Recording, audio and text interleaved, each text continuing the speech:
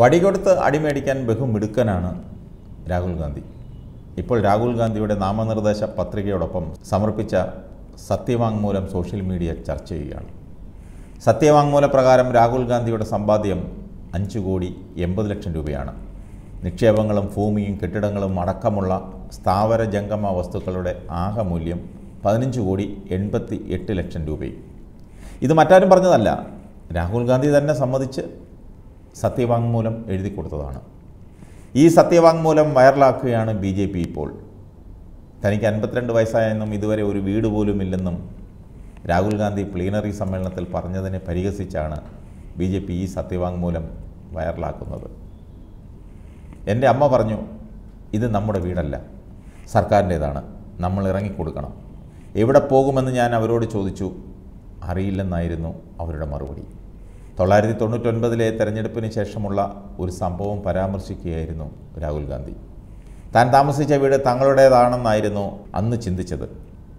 ഇപ്പോഴെനിക്ക് അൻപത്തിരണ്ട് വയസ്സായി. സ്വന്തമായി ഒരു വീട് പോലുമില്ല. അലഹബാദിലെ കുടുംബ വീട് ഞങ്ങളുടേതല്ല.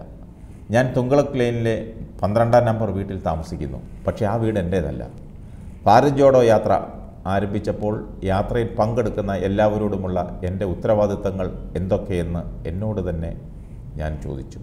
ഇക്കാര്യം ഞാൻ എന്റെ ഓഫീസിൽ ഉള്ളവരോട് പറഞ്ഞു. യാത്രയിൽ എത്തുന്നവർക്ക് അതൊരു ഭവനമായി തോന്നണം. യാത്രയാണ് നമ്മുടെ ഭവനം. അതിന്റെ വാതിലുകൾ എല്ലാവർക്കുമായി തുറന്നിട്ടിരിക്കണം. സമ്പന്നർക്ക് പാവപ്പെട്ടവർക്ക് മൃഗങ്ങൾക്ക് അങ്ങനെ എല്ലാവർക്കും അത് ചെറിയ ആശയമായിരുന്നു. പക്ഷേ അതിന്റെ ആഴം പിന്നീട് എനിക്ക് വ്യക്തമായി. യാത്ര ഒരു ഭവനമായി മാറിയ ദിവസം യാത്രയ്ക്ക് തന്നെ മാറ്റമുണ്ടായി. ആളുകൾ എന്നോട് രാഷ്ട്രീയം സംസാരിച്ചില്ല. നമ്മളുടെ ചെറിയ ഭവനം കശ്മീരിലെത്തിയപ്പോൾ എന്റെ വീട്ടിൽ എത്തിയതായി എനിക്ക് അനുഭവപ്പെട്ടു. ഇതായിരുന്നു രാഹുലിന്റെ പ്രസംഗം.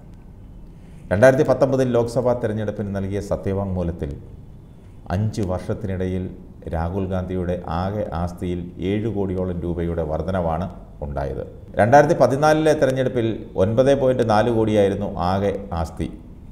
വയനാട്ടിൽ മത്സരിക്കാനെത്തിയപ്പോൾ നാൽപ്പതിനായിരം രൂപയാണ് കൈവശമുള്ളത്. വിവിധ ബാങ്കുകളിലായി പതിനേഴ് ലക്ഷത്തി തൊണ്ണൂറ്റി മൂവായിരത്തിന്റെ നിക്ഷേപമുണ്ട്. ഓഹരി ബോണ്ട് തുടങ്ങിയവയിലുള്ള നിക്ഷേപം അഞ്ച് കോടിയിൽ പരം രൂപയുടേതായിരുന്നു.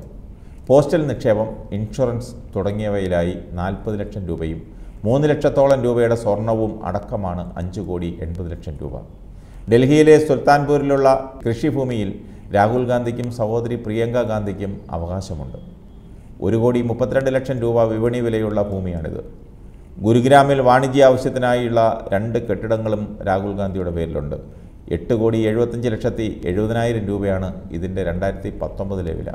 വീടില്ലെങ്കിലും ആവശ്യത്തിന് സമ്പാദ്യം രാഹുലിനുണ്ട്. ഈ സാഹചര്യത്തിലാണ് ബി പരിഹാസവുമായി എത്തിയത്.